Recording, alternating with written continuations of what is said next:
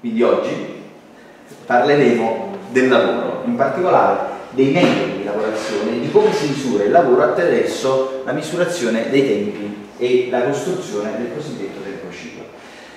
L'attenzione al lavoro e alle metodologie di governo del lavoro nasce in realtà, come voi avete visto quando abbiamo parlato di evoluzione dei sistemi produttivi, sostanzialmente con, con la rivoluzione industriale. Prima di allora il lavoro artigianale o quello eh, semi-industriale non avevano necessità di particolari accorgimenti volti all'ottimizzazione e alla razionalizzazione del lavoro.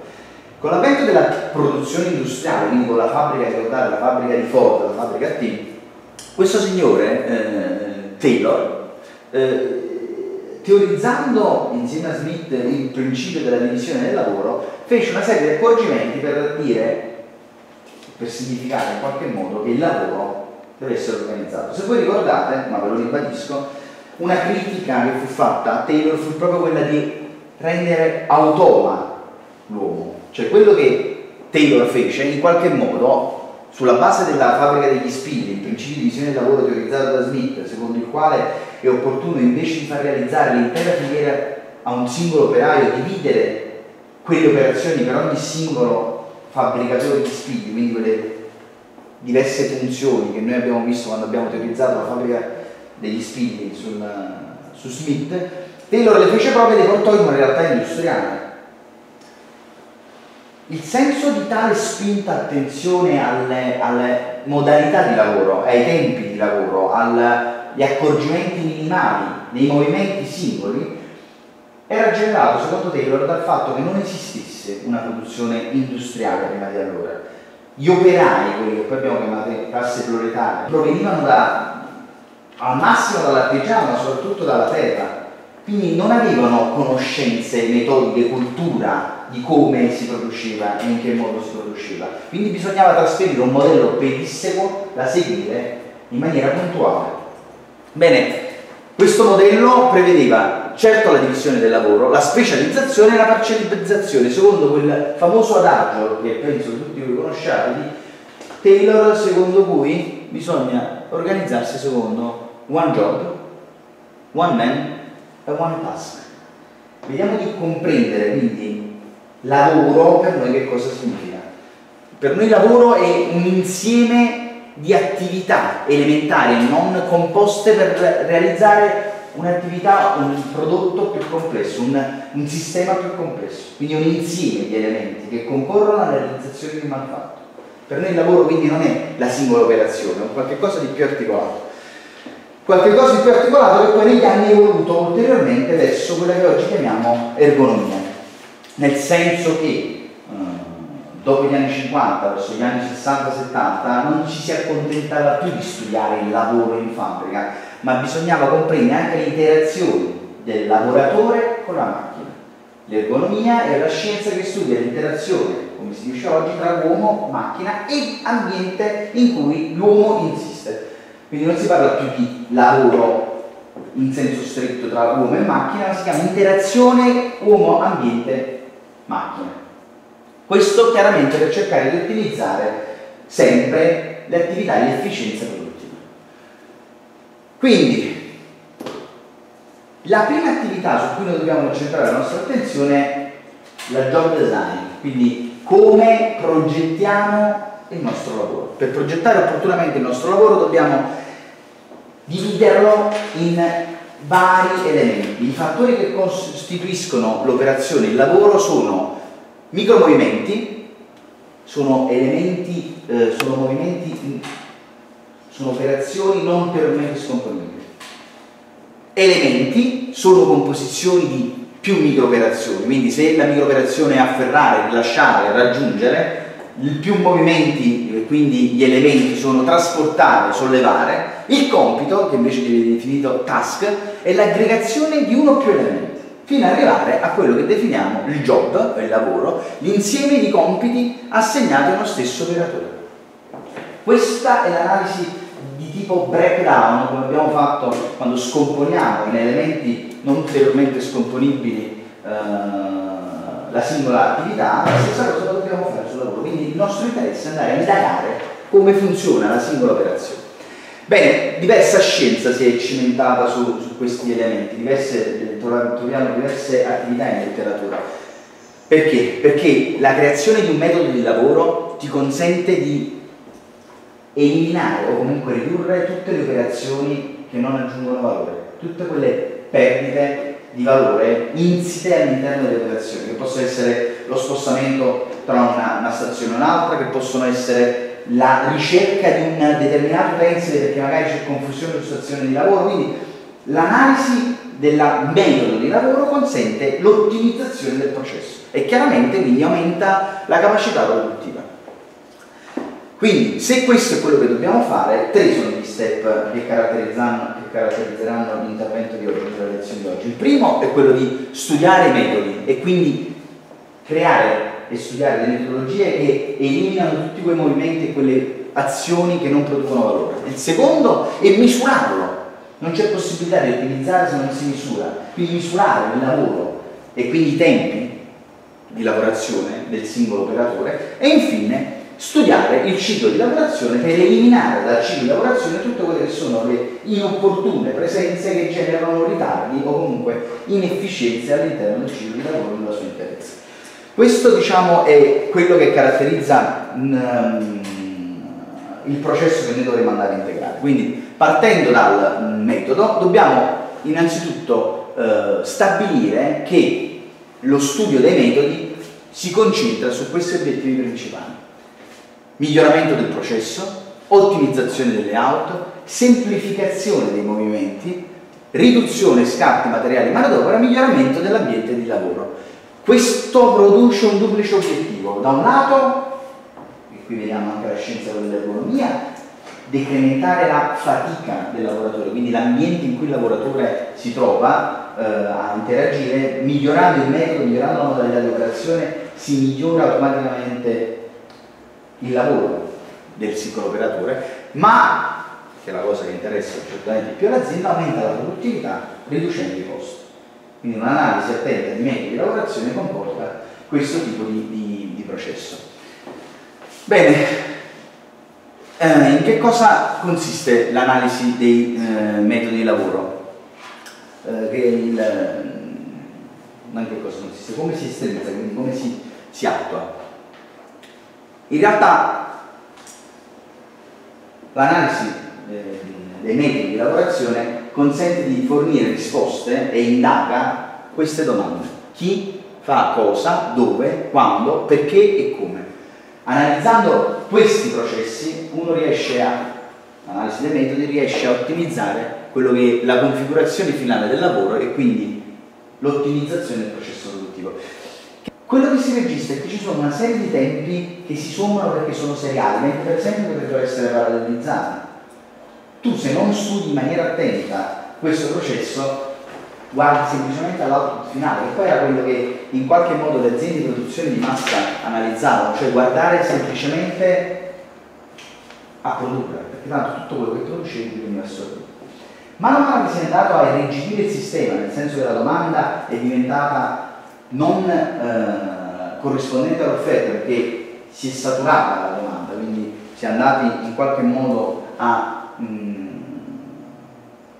gestire il mercato in maniera diversa, nel senso che vi ricorderete, no? parlavamo delle automobili piuttosto che dei frigoriferi o le televisioni, televisori che erano prodotti di elite, ma mano il mercato si satura, quindi l'offerta è iniziata a diventare maggiore della domanda, in quel caso devi puntare sulla qualità e ottimizzare il processo produttivo. Quindi oggi l'attenzione che Frederick Taylor prestava a queste metodologie è grandemente maggiore. Grandemente maggiore perché si cerca in qualche modo dallo studio del tempo ciclo e del metodo di trovare l'ottimo nel tempo di produzione finale, nel time to market, così come si chiama, nascondendo una serie di, di, di valori di tempi che magari possono inficiare la bontà del ciclo di lavoro che stiamo studiando. Faccio un esempio che è riportato dalla settimana linguistica, e poi vi darete la soluzione durante l'intervallo, così quando si parla di operare volendo nascondere dei tempi morti. Quindi quello che già vi sto dando la soluzione, ma comunque mh, mm, il principio generale che muove l'analisi dei tempi e metodi è quello di trovare la soluzione ottimale, ricordate sempre la differenza tra soluzione ottima e ottimale, che consenta di massimizzare la capacità produttiva tenendo in considerazione tutti i constraints, tutti i vincoli del mio processo. L'esempio che da settimane di linguistica che normalmente faccio per spiegare questo concetto è il seguente. Immaginiamo di avere quattro persone, una un pochino robustina, una meno robustina, una slim e un'altra molto magra che devono attraversare un ponte da punto A al punto B.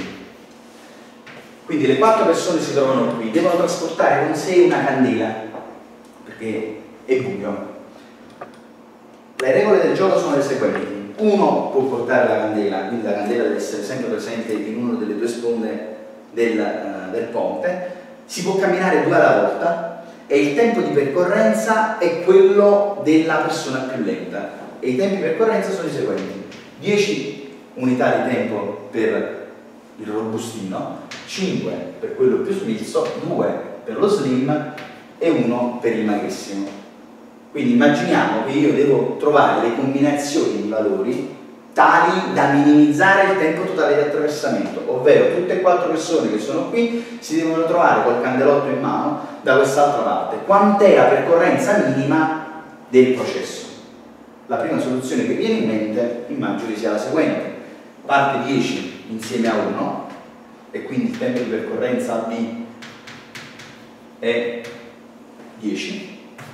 Immaginate quello là robustino che insieme a quello là da un secondo ritorna 1 via. Totale 11 poi dopodiché parte 5 con 1 e quindi il tempo di percorrenza è maggiore 5 ritorna 1 quindi 6 e infine parte il 2 con l'1 e quindi 2 tempo di percorrenza 2 totale è 6 17 2 19 il tempo di percorrenza ovviamente utilizzando tecniche di gestione dei tempi e metodi, soprattutto dei metodi, è grandemente inferiore a questo 19. Il problema è utilizzare le tecniche di nascondere tempi morti. Quindi che cosa devo fare io? Fare in modo di far partire le unità che assorbono maggior tempo nascondendo quelle che ne assorbono leggermente minori. Quindi io faccio partire 1 e 2, quindi 1 e 2 vanno qui. Dopodiché faccio tornare l'1. Partono 10 e 5. In questo modo sto nascondendo dei tempi morti. 10 e 5 e torna il 2 che era rimasto da questa parte. E poi parte 2 e 1. In questo modo avrete una riduzione significativa 20% dei tempi di gestione della vostra commessa, che può essere un tornio, può essere un'azione di fresatura, operazioni che vedremo tra qualche istante per comprendere come si costruisce il tempo sciclo. Quindi questo è il ragionamento che noi stiamo cercando di fare, che vogliamo condurre per ottimizzare il processo produttivo. Bene, dicevamo che non possiamo ottimizzare se non misuriamo, quindi il primo passaggio che dobbiamo fare è calcolo dei tempi. Bene, sembra una banalità calcolare ma non è sufficiente andare a misurare la singola operazione, perché ci sono una serie di concause che concorrono alla determinazione di un tempo che deve essere confrontabile, standardizzabile, che non sono propriamente banali. Quindi misurare semplicemente con un cronometro il tempo non è individuare una tecnica che consente di standardizzare il processo. Quindi abbiamo diverse metodologie per cercare di misurare i tempi. Uh, che vi pongo qui di seguito. Allora, sono le seguenti, il criterio dei tempi standard, il criterio del cronometraggio e poi il criterio dei tempi predeterminati. Questi sono i tre che studieremo, gli altri due non li faremo, ma comunque sono il criterio del campionamento del lavoro e il criterio del livellamento. Quindi, come vedete, non è immediato il calcolo dei tempi di lavorazione. Il calcolo dei tempi di lavorazione viene effettuato attraverso processi di standardizzazione, cioè noi dobbiamo rendere confrontabili i tempi delle singole operazioni. Il criterio dei tempi standard è abbastanza semplice, dal momento che il tempo richiesto per svolgere una determinata attività che appunto si chiama tempo standard, ovvero il tempo richiesto da un operatore di media abilità per eseguire un determinato lavoro secondo un metodo definito, in realtà è tabellato. Quindi seguendo il principio di divisione del lavoro eh, proposto da Taylor, i coniugi Gilbert, questi due signori qua, decisero che probabilmente, no probabilmente, decisero, studiarono che qualsiasi operazione, qualsiasi job, qualsiasi task, qualsiasi operazione elementare fosse composta da micromovimenti e la composizione di questi micromovimenti potesse dare vita a un lavoro nella sua interezza. E loro decisero, studiandolo, che ci sono 18 micromovimenti che compongono qualsiasi operazione che tu possa fare. Chiaramente ognuno di questi micromovimenti ha una durata, ha una simbologia, quelli che loro chiamano Fairlinks, eh, che consente facilmente di poter operare su degli sheet di lavorazione, su dei fogli di lavorazione. Qui non so se si riesce a vedere, mm, ma ci sono alcuni degli, dei 18 eh, movimenti elementari. Per esempio, cercare, come vedete il grafico rappresenta un occhio con l'occhietto spostato a destra e a sinistra, c'è un colore di riferimento, oppure trovare che c'è una lettera di riferimento, c'ha l'occhio con la pupilla ferma al centro, o ancora, eh, non so, trasporto a vuoto, la mano vuota disposta in questo modo, vedete il simbolo, con un colore, trasporto a carico invece la mano piena e così via. Quindi ogni singola operazione che noi creiamo ogni job è la composizione di 18 elementi fondamentali, ognuno di questi con una determinata tempificazione. La somma di queste tempificazioni ci fornisce il tempo standard, ovvero il tempo che un operaio medio impiega per effettuare una determinata operazione, taglio di una corda piuttosto che foratura di una uh, lamiera. Bene, Tuttavia questo uh, metodo non sempre è facilmente applicabile perché eh, comporta, come vedremo poi quando studieremo anche gli ulteriori metodi come l'MTM, comporta un impegno forte nella scomposizione delle singole attività di lavoro. Quindi quello che viene eh, normalmente operato è il criterio del cronometraggio. Il cronometraggio dice stesso la parola viene utilizzato uno strumento che è il cronometro per misurare il tempo, ma anche in questo caso il processo non è così banale. Innanzitutto diciamo che lo strumento di misurazione, ovvero il cronometro, può essere centesimale o sessantesimale, quindi può essere in 60 secondi o in centesimi di secondo. La conversione è abbastanza semplice tra l'uno e l'altro, ma potete utilizzare l'uno e l'altro a seconda delle operazioni della precisione che volete eh, introdurre all'interno delle operazioni che, che, che state eh, gestendo. Eh, Ovviamente oltre allo strumento prevede anche delle abilità di un operatore, cronotecnico, che deve avere esperienza, qualità personali, sincerità, onestà, entusiasmo, oltre che capacità tecnica, quindi ci vuole una persona che si trova lì non parla, per intenderci, cioè si, si trova con onestà, con trasparenza nel giudicare il lavoro di un operatore, oltre che giudicare, dopo vi dico perché giudicare, o misurare il lavoro dell'operatore attraverso un cronometro.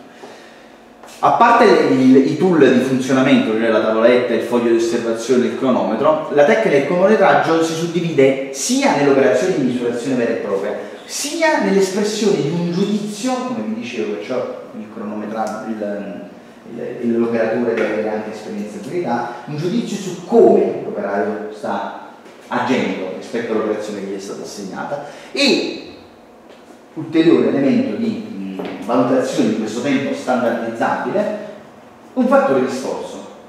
Questo fattore di sforzo non dipende dall'operario, ma dipende dalla tipologia di lavorazione che stiamo affrontando. Se ci troviamo in un alto forno è evidente che il fattore di sforzo sarà molto più elevato rispetto a se ci troviamo a lavorare al computer per mandare delle mail o rispondere a delle mail. Ma lo vedremo in un secondo momento. Quindi iniziamo col dire come funziona la tecnica del cronometro. Allora, abbiamo il cronometraggio eh, attraverso il criterio diretto, dove praticamente si suddividono le operazioni in funzioni elementari, si valuta a parte il tempo macchina e la durata degli elementi misurabili non deve essere inferiore a 5-10 centesimi. Quindi ogni operazione sulla quale andiamo a effettuare la nostra misurazione non deve essere inferiore a 5-10 cm e non deve essere superiore al minuto. E inoltre elementi inutili, irregolari eh, rispetto a quelli presenti nella nostra misurazione vanno eliminati nella fase di analisi a monte. Allora, se queste sono le operazioni che andiamo a fare, immaginiamo che l'esempio eh, che qui viene riportato è di centratura, l'operazione principale è la centratura, che si divide in ulteriori sottooperazioni, la breakdown che stiamo realizzando di tipo secondario, che è sfasciare il piano prima fascia, centrare la prima fascia, faccia, chiedo scusa, oppure eh, le operazioni elementari fino ad arrivare al movimento micro eh, elemento non ulteriormente scomponibile che è il prendere il pezzo, collocarlo eh, nell'autocentrante e realizzare operazioni elementari di questo tipo. La seconda operazione, una volta scomposto il processo e quindi rese misurabili le singole grandezze che caratterizzano l'operazione, il task o il job nella sua interezza, è individuare un giudizio di rendimento. Perché? Perché oltre al tempo un ulteriore valore della misurazione è il come viene effettuata l'operazione. Il giudizio di rendimento si fonda sull'analisi di un operaio cosiddetto normale, tra virgolette, nel senso statistico, quindi nella norma, ovvero una persona onesta, evoluta ed addestrata che lavora a, paga, che lavora a paga fissa e dà una produzione giornaliera costante e accettabile, senza impegnare tutte le sue capacità e senza riportare eccessiva stanchezza. Quindi un operaio che lavora con onestà a paga fissa e addestrato. Questo giudizio di modalità di lavoro si chiama standard normale ed è pari è posto pari a 100. Il che significa che se abbiamo un operaio che lavora al di sotto della normalità, avremo giudizi inferiori a 100, fino ad arrivare a giudizi di operai che invece non lavorano, per esempio a paga fissa, ma lavorano a cottimo, oppure così si può determinare lavoro a rendimento, e questi operai lavorano con un 33% di efficacia in più. Chiaramente si arrivare fino a 67, poi, poi lo vedremo in un secondo momento, ma comunque l'operaio quindi incentivato lavora di più. Stranamente, no? rispetto a quello a paga fissa. C'è l'operaio normale che invece lavora anche di meno per problemi personali, per, per tante ragioni che poi fanno parte di un altro processo della psicologia del lavoro che non ci riguarda, ma che comunque in qualche modo inficiano l'efficienza e l'efficacia del lavoro che sta uh, realizzando e quindi il giudizio che uno deve esprimere. Allora, se questo è il, eh, sempre nell'ambito del criterio del cronometraggio, quello che noi andiamo a elaborare come giudizio, dobbiamo sapere che possiamo da un giudizio pari, per esempio, a 0,50, ovvero operario scadente molto inferiore alla media, fino ad arrivare a un giudizio pari a 1, ovvero normale, un giudizio 1,33 molto migliore del normale, fino a 1,67 molto superiore al normale, che significa che stiamo impegnando uh, un operario che è molto incentivato per quanto opera onestamente, ma che in qualche modo vuole dare di più perché sa che in questo modo guadagna di più.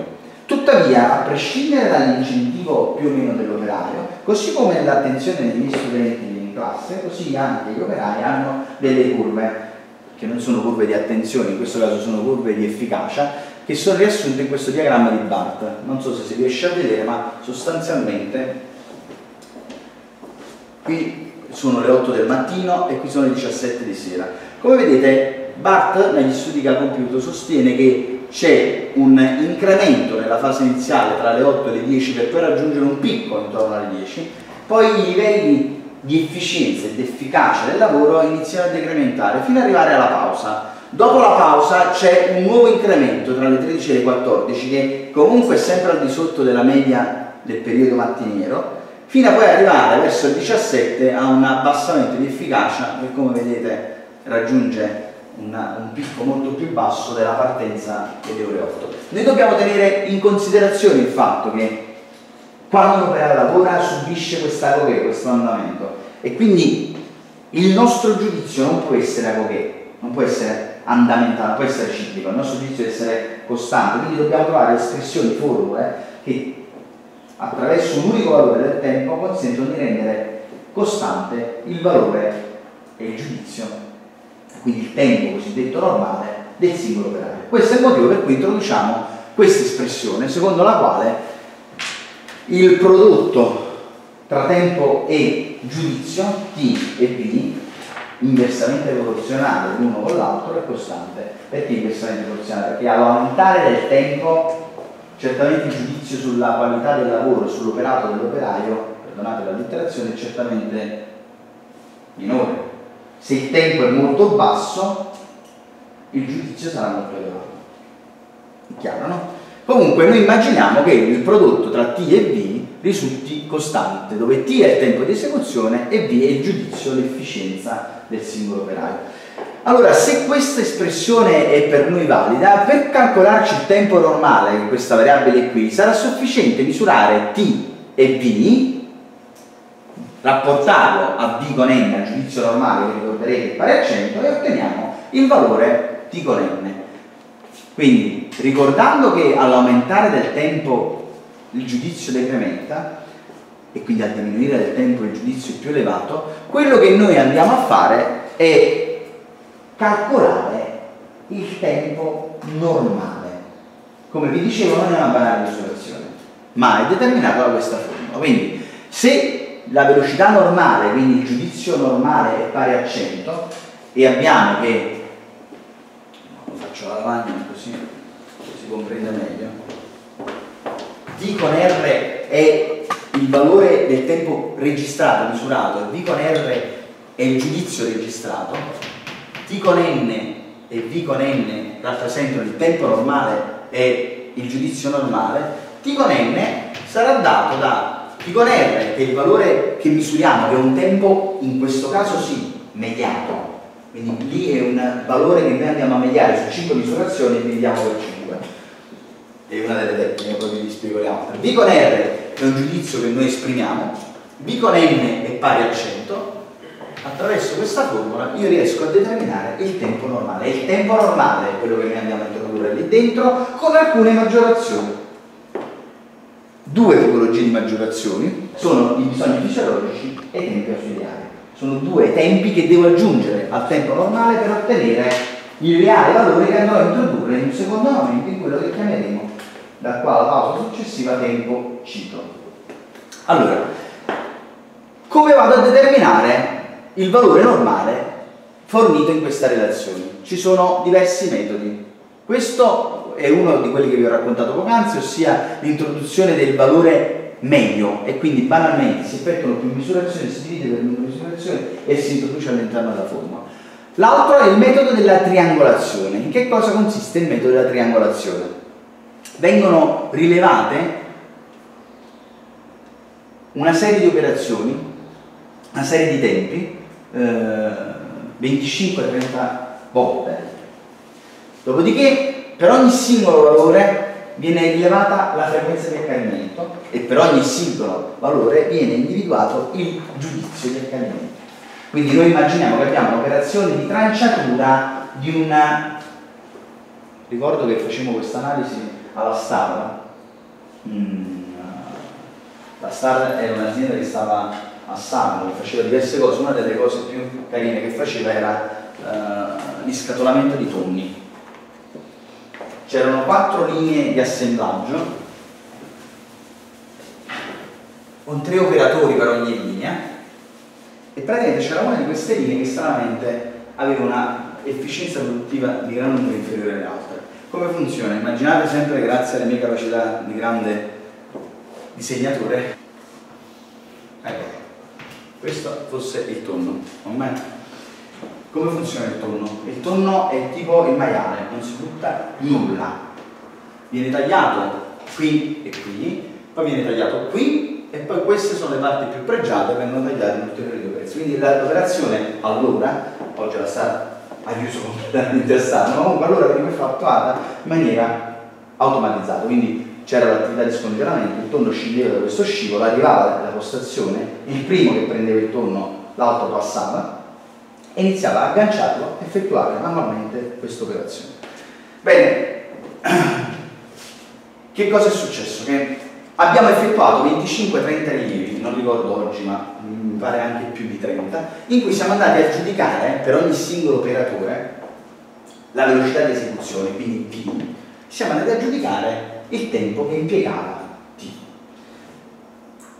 Questo ci forniva una tabella che più o meno poteva avere un andamento del genere, dove sono riportati i tempi di esecuzione che vanno dal più basso, che era 30, fino al più alto, che era 36 unità di tempo, 36 secondi, con un tempo normale, quello più frequente, che era 33. A questi venivano associati poi i giudizi. È evidente che un giudizio di 30 è il giudizio è eccezionale, no? che è un tempo ottimo, quindi il giudizio 130-125, ricordate che 100 è il giudizio normale, fino ad arrivare a un tempo di 36 dove il giudizio è meno che normale e quindi chiaramente al di sotto della, della norma è 80-90, ma soprattutto un giudizio più frequente che come vedete è 105, assegnato rispetto al tempo che maggiormente era frequente, 33. Prima di andare avanti con questo, vi dico che cosa era successo e quindi da questa analisi che cosa abbiamo determinato. Oltre al tempo normale, che è fornito banalmente dalla relazione che vi ho prima trascritto, quindi T, V per T fratto 100, T per V, T è lo stesso, sono i tempi registrati. Il tempo registrato in questo caso, quant'è? Quindi il tempo che devo riportare è quello più frequente, quindi quant'è? 33. E il giudizio più frequente? 105. Quindi faccio 33 per 105 diviso 100. 33 per 105 diviso 100 che viene 34,65 34,65 è il tempo mio normale che io vado a introdurre all'interno della mia analisi per rendere confrontabili diversi operatori. Ebbene, la faccio breve nel caso del, del, pesciolino, quello che è avvenuto banalmente attraverso uno studio di telecamere, abbiamo visto anche le operazioni che abbiamo fatto, prima abbiamo studiato i tempi, poi abbiamo compreso che in realtà era semplicemente un'operazione di come veniva gestito l'aggancio del turno. Quindi c'era un'operatrice che nel momento in cui il turno veniva sul bancale perdeva alcuni secondi, stiamo parlando di 36, quindi se due secondi stai perdendo una capacità produttiva significativa per sistemare il tonno in maniera tale che lei lo potesse tagliare come aveva deciso lei, quindi senza seguire le istruzioni generali di arrivare il tonno e fare i tagli come vi avevo detto. Ebbene, questa semplice operazione di ritardo aveva generato una lacca, una, una, una carenza, una, un decremento della produttività di una singola per un solo operatore. Quindi per dire quanto è importante e come a volte non si vedono queste cose se non le vai a studiare. Quindi questo è il metodo cosiddetto della triangolazione, perché vedete come si presenta, eh, è uno dei metodi per la determinazione del eh, tempo normale all'interno delle espressioni che a noi servono. L'altro metodo invece è quello della, mm, questo non è della triangolazione, è l'ultimo metodo che noi andiamo a studiare invece è quello capellare, dove praticamente che cosa andiamo a fare?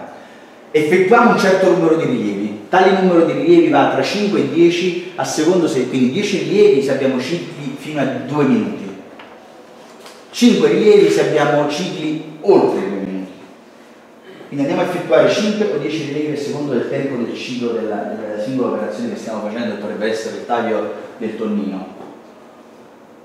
Dopodiché andiamo a calcolare la differenza, il range, tra il tempo massimo e il tempo minimo registrato all'interno del processo.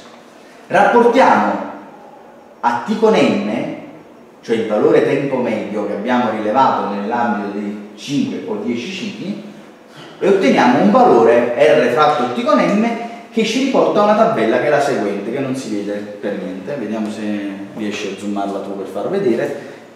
In questa tabella che cosa è riportato? È riportato il valore di R, sarebbe range, fatto T con M. Questo valore ti dice quante altre misurazioni devi fare per ottenere il tempo che io ritengo possa essere normalizzato, possa essere buono, idoneo per essere utilizzato nel mio tempo ciclo.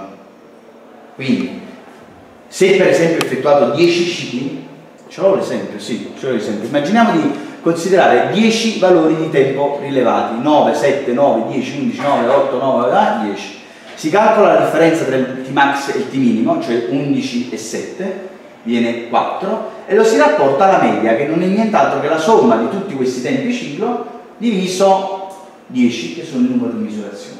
Ebbene, il valore di questo rapporto è 0,44. Entro nella tabella, se vado a prendere 0,44, eccolo qua, rispetto a numero tempi rilevati che è 10, e mi dice che sono 33 le rilevazioni che devo fare, quindi in realtà devo aggiungere 23 misurazioni ulteriori, le medio, questo tempo è il tempo che utilizzerò per caratterizzare il tempo normale. E infine, l'ultima analisi, l'ultima considerazione che dobbiamo fare è il fatto che questo tempo che ho determinato in questi tre modi, noi abbiamo questi tre modi per determinarlo,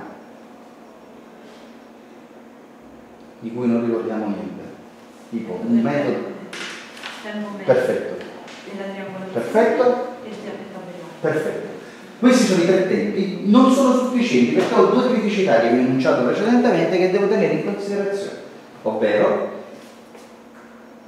il fattore di sforzo e bisogni fisiologici. Il fattore di sforzo, come vi dicevo, non è una variabile che dipende dall'operaio, dipende dalla tipologia di lavoro che stiamo attuando, quindi natura del movimento, se sono azioni di sollevamento di pesi molto onerosi, superiori ai 32 kg, attenzione richiesta in precisione, pericolosità dell'operazione o le condizioni ambientali, vi dicevo prima dell'alto forno, no? della presenza di, situazioni molto molto rigide, freddo o caldo in cui mi trovo ad operare. Ebbene, questo fattore di sforzo può essere anche in questo caso calcolato in due modi differenti.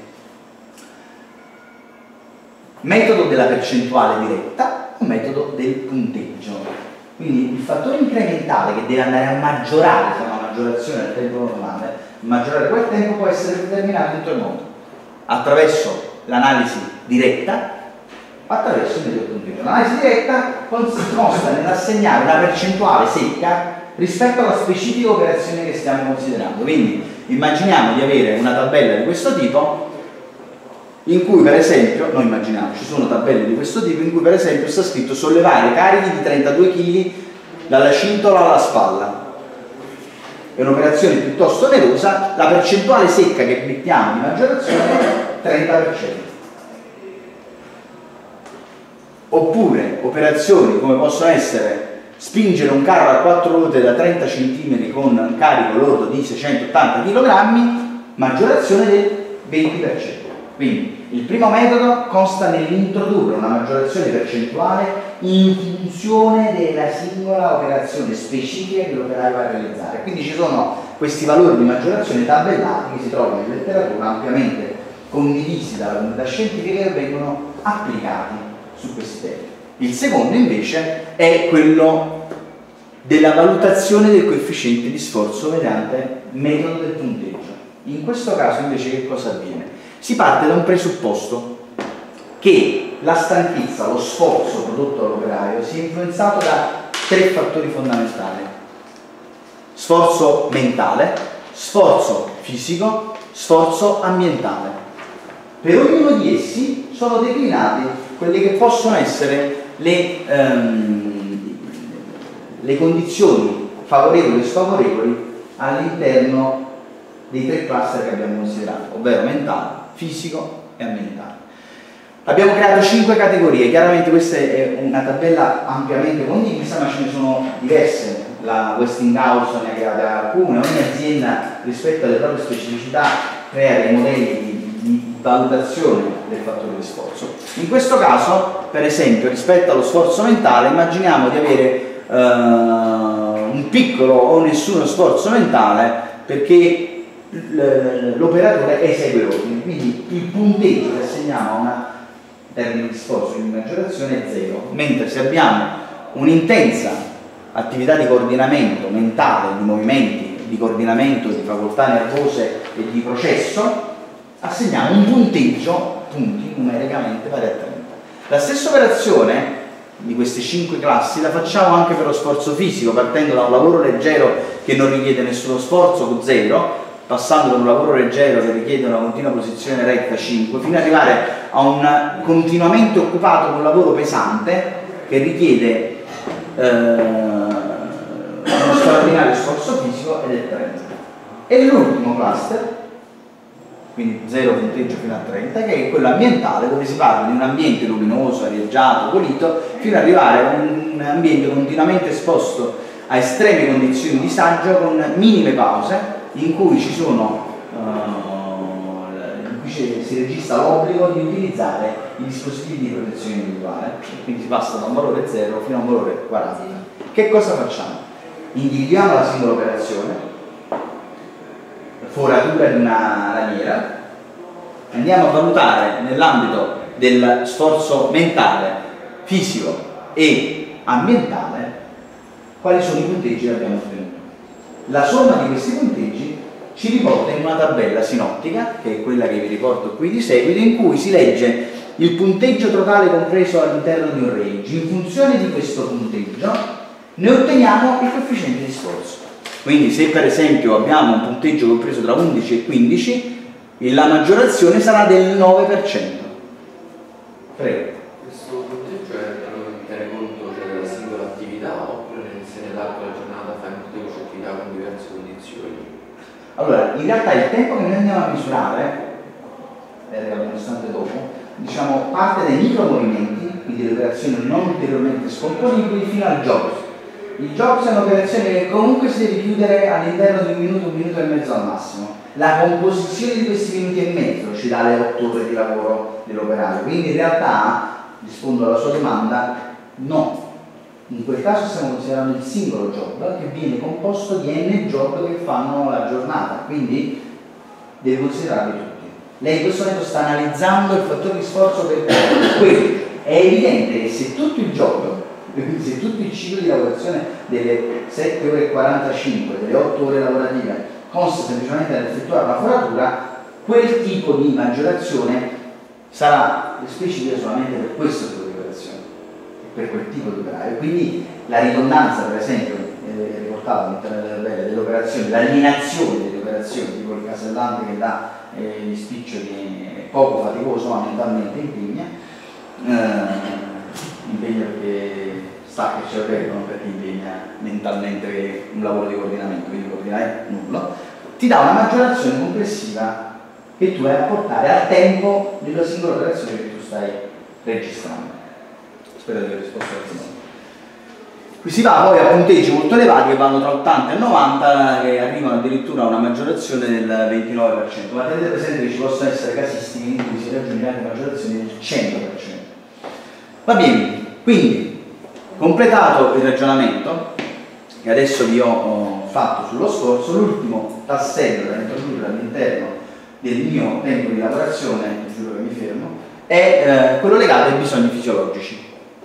Come tutti voi sapete, l'operaio e noi hanno delle esigenze fisiologiche che vengono computate in un numero eh, specifico, mai eh, superiore a una percentuale di alcuni altri tempi, che va all'interno del ciclo di lavorazione, quindi va anche all'interno del tempo che io devo eh, misurare eh, di tipo Insieme a questi ci sono ulteriori maggiorazioni generali e imprevisti, stacco della corrente, interruzione della linea di produzione, che chiaramente sono assolutamente indipendenti dall'operatore, ma che comunque concorrono a generare quel tempo. Lezione. Quindi, quello che noi abbiamo fatto è, vabbè, lo riassumo dicendo direttamente io, è una volta compreso che il metodo di lavorazione è essenziale per determinare quali sono le operazioni inutili che peggiorano la qualità del lavoro e anche l'efficacia del lavoro, quindi la produttività, intervengo sulla misurazione di questo lavoro e ho diverse metodologie da poter utilizzare. La prima che abbiamo visto è quella dei tempi standard, sono tabellati, perché con il diviso il lavoro in tante operazioncine elementari, la somma di queste operazioncine elementari ci fornisce il tempo della singola operazione. Il secondo invece è quello del cronometraggio. In questo caso invece abbiamo la possibilità di andare a misurare il tempo, ma sapendo che quel tempo non sarà il reale tempo che andremo a riportare all'interno della nostra valutazione perché è influenzato dalla misura soggettiva e dal giudizio del come l'operaio sta operando, perdonate un'altra volta la ripetizione. Perché? Perché se un operaio non è incentivato, per quanto voglio dire sia onesto e abile, ha un tempo di lavorazione normale, quindi un giudizio che noi abbiamo posto quale al centro, se è invece incentivato ha un giudizio migliore. Il prodotto tra il tempo e il giudizio lo consideriamo costante e quella formula che vi ho riportato alla lavagna è quella che ci consente di determinare, una volta misurati i tempi T e V, T con R e T con R, qual è il tempo normale nostra situazione. Si è posto a questo punto il come determinare il T il V tenendo presente che il giudizio purtroppo è affidato al cronotecnico e il tempo invece può essere calcolato attraverso, come ci ricordava la collega prima, una misurazione immediata, metodo della triangolazione, piuttosto che un metodo tabellato in cui andiamo in funzione delle misurazioni che dobbiamo compiere per il rapporto tra R con M, un numero successivo complessivo di misurazioni che immediate ci forniscono il tempo. Queste sono le caratterizzazioni che noi siamo andati a effettuare per introdurre questo benedetto tempo. Ricordando che tuttavia c'è un'ulteriore criticità generata dalla tipologia di lavoro, che genera quindi l'introduzione di un fattore di sforzo. Questo fattore di sforzo può essere determinato in due modi. Il primo, percentuale secca in funzione della lavorazione, quindi anche in questo caso tabellato. Il secondo, invece, tenendo in considerazione gli sforzi fisici, mentali e ambientali. La chiosa di tutto questo va aggiunta, mm, in chiosa tutto questo va aggiunto l'ultimo tempo che dovete misurare, che è quello relativo agli imprevisti e ai bisogni fisiologici. Questo è il vostro tempo. C'è un'altra cosa.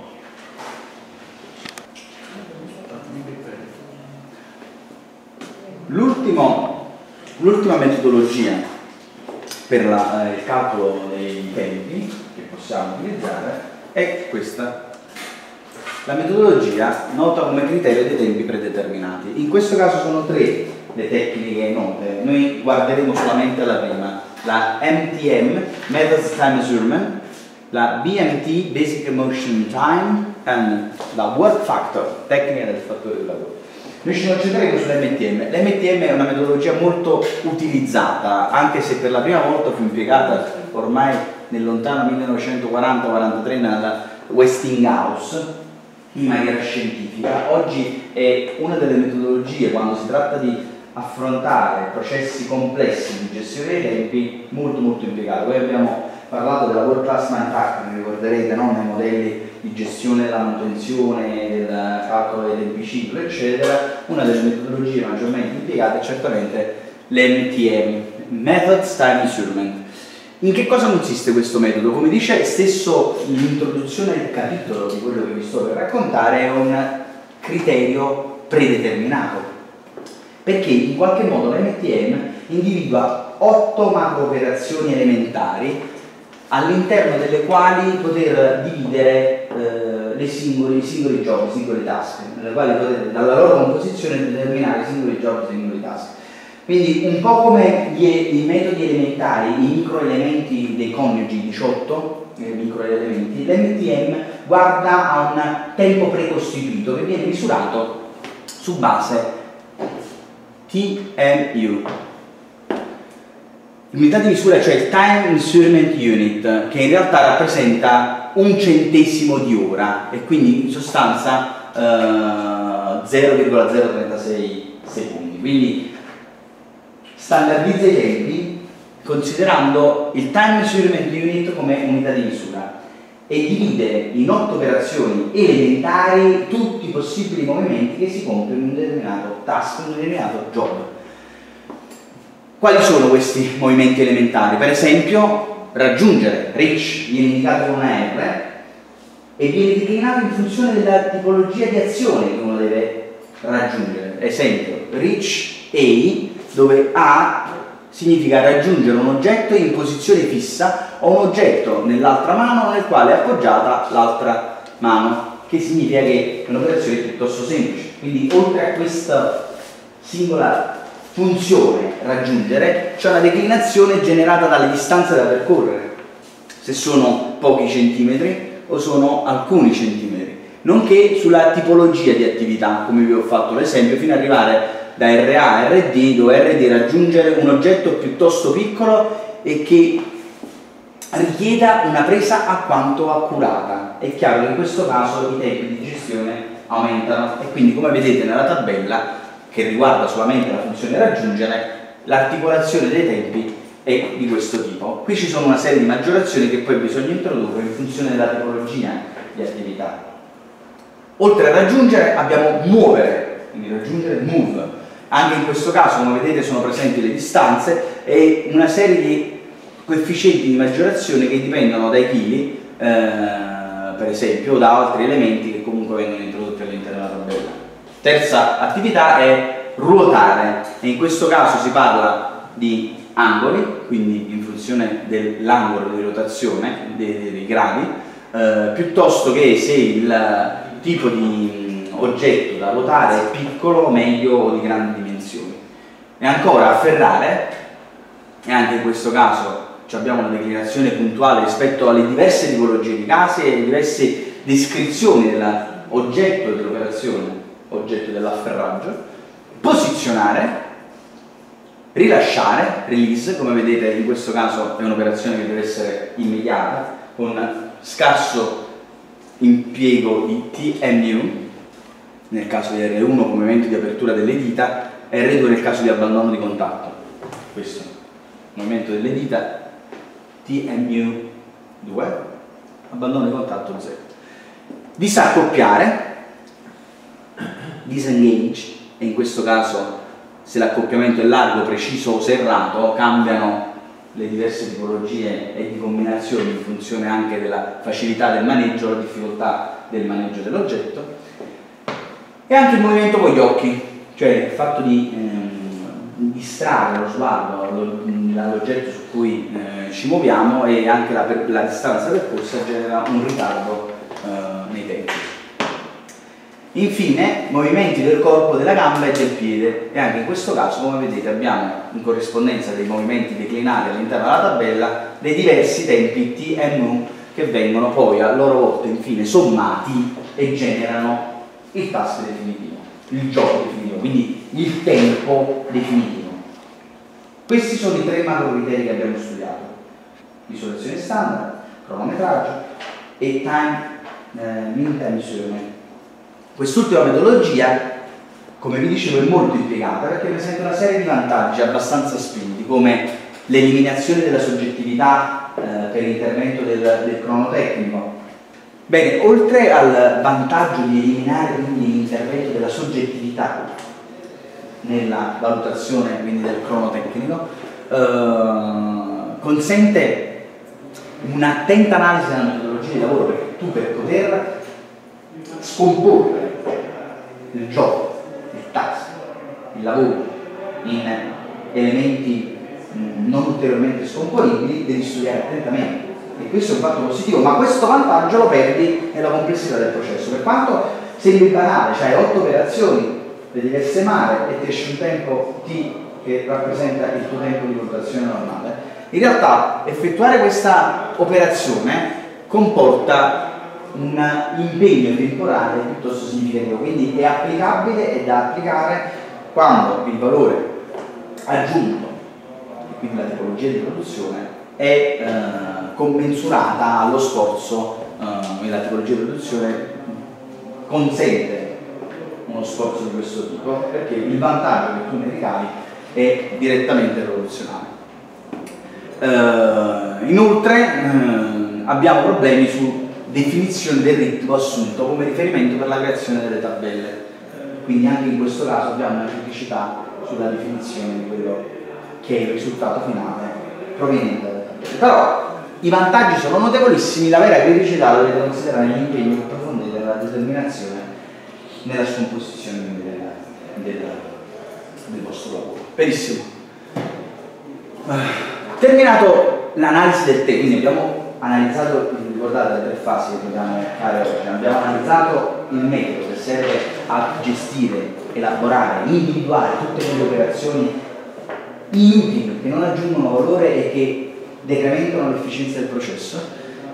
Abbiamo misurato questo lavoro e quindi abbiamo individuato come calcolare i tempi, arrivando a determinazioni di un tempo normale, comprese le maggiorazioni che abbiamo visto. Adesso dobbiamo vedere come questo scenario si cala sulla singola realtà produttiva, quindi sul singolo prodotto. Quindi noi dobbiamo andare a costruire quello che si chiama ciclo di lavorazione. il ciclo di lavorazione è l'insieme della sequenza di operazioni che vengono realizzate per realizzare un intero manufatto, un intero prodotto, semi-prodotto, semi-assemblato, insomma un qualche cosa che abbia un input, entra in una macchina e esce dalla macchina come prodotto finito o semifinito. Ebbene, per poter analizzare il ciclo di lavorazione. Noi dobbiamo introdurre questi quattro tempi che vi riporto su di un diagramma Gantt. Ricordate che Gantt è un diagramma monodimensionale?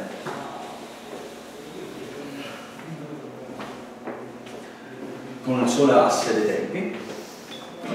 E quindi i tempi che dobbiamo introdurre i tempi, i tempi che dobbiamo introdurre per calcolare il ciclo sono esattamente questi quattro quindi tempo di preparazione macchina questo viene definito anche tempo macchina ferma MF sono quei tempi che vengono utilizzati dall'operatore per iniziare a predisporre le operazioni di carico del materiale nella macchina. Immaginiamo che stiamo effettuando uno stampo, quindi prendiamo una lamiera, la prepariamo, la predisponiamo e la mettiamo sotto la macchina di stampaggio.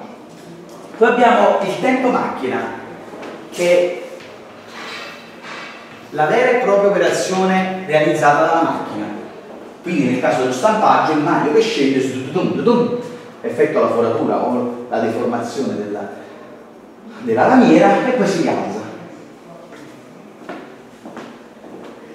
Mentre la macchina fa queste operazioni, l'operaio ha possibilità tuttavia di effettuare altre operazioni, per esempio controllare il prodotto in uscita da uno stampaggio, predisporre tutto quanto necessario per avviare la predisposizione della seconda lamiera sotto la macchina di stampaggio. E quindi sono delle operazioni che l'operaio fa mentre la macchina lavora e si chiama ML, tempo macchina lavora. Questo MF più T con M rappresenta il livello di, no, rappresenta il tempo ciclo teorico, quello che in teoria dovremmo avere come tempo finale per la produzione del mio manufatto. In realtà, in realtà dobbiamo aggiungere ulteriori elementi. Perché? Perché durante le ore di lavoro l'operaio effettua anche altre operazioni, per esempio di risistemazione e pulizia della postazione di lavoro, sostituzione delle utenze, immaginate un trapano, eh, la miccia diciamo, che, che, si usura piuttosto che eh, altre operazioni di sostituzione che si chiamano tempi ausiliari. Oltre ai tempi ausiliari abbiamo sempre da aggiungere un tempo che è funzione di altri come vedremo fra qualche istante, invece riguarda proprio l'operaio stesso, cioè dei bisogni fisiologici dell'operaio stesso e quindi aggiungiamo anche dei BF, bisogni fisiologici. Il tempo ciclo effettivo è la somma di questi quattro tempi. Questo è il tempo ciclo che noi andremo a studiare nel corso della prossima lezione.